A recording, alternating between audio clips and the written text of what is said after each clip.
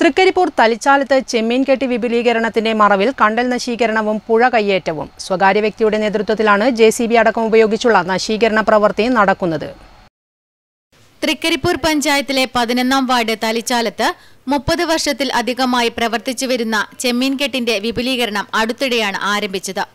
സ്വകാര്യ വ്യക്തിയുടെ ഉടമസ്ഥതയിലുള്ള കാരാത്തലിച്ചാലം പുഴയോട് ചേർന്ന ഈ പ്രദേശത്ത് നിർമ്മാണ പ്രവർത്തനത്തിന്റെ മറവിൽ ജെ ഉപയോഗിച്ച് കണ്ടൽ പിഴുതുമാറ്റുകയും കൂട്ടമായി മരങ്ങളുള്ള ഭാഗത്ത് ട്രെഡ്ജിംഗ് നടത്തിയെടുക്കുന്ന ചെളിമണൽ കൊണ്ട് അതിരുകൾ മൂടിയ നിലയിലുമാണ്.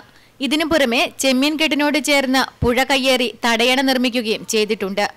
തീരദേശത്തിന്റെ കെട്ടുറപ്പിനെ തകർക്കുന്ന വിധം നടക്കുന്ന പുതിയ നിർമ്മാണ പ്രവർത്തനങ്ങൾ ആദ്യം തന്നെ നാട്ടുകാർ ഇടപെട്ട് തടഞ്ഞിരുന്നെങ്കിലും സ്ഥല ഉടമ ഇത് മുഖവിലക്കെടുക്കാൻ തയ്യാറായില്ല എന്ന് നാട്ടുകാർ പറയുന്നു.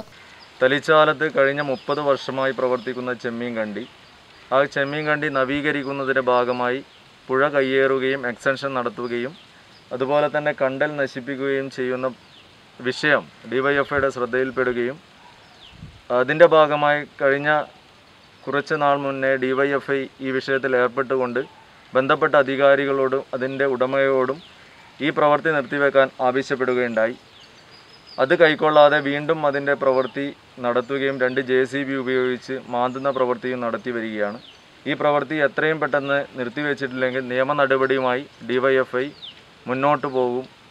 പുഴയോട് ചേർന്ന കണ്ടലുകൾ നശിപ്പിച്ച് പുഴയോട് ചേർന്ന കണ്ടലുകൾ നശിപ്പിച്ച് ജെ സി ബിയും നിർമ്മാണ സാധനങ്ങളും കൊണ്ടുവരാൻ ഉടമ വഴി നിർമ്മിക്കുകയും ചെയ്തു.